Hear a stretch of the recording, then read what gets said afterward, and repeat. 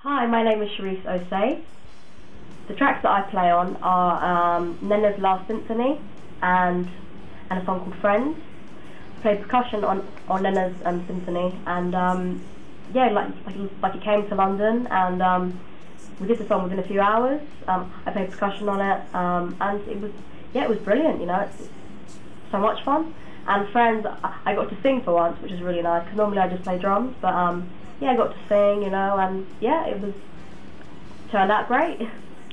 On this record, there are a lot of you know great names that I'm just you know so happy to be to be associated with. You know, like on Nenna's Last Symphony, you know David Paich is on keys. You know, that's and say that I'm on a track with David Paich is just you know it's just incredible. You know, more than just I can't even talk. it's just, you know it's just amazing.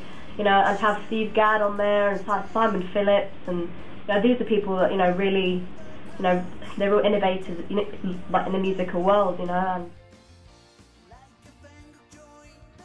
this Giorgio, he's a very strange man, actually. This Giorgio, um, quite nice though, quite nice. He has very good hair.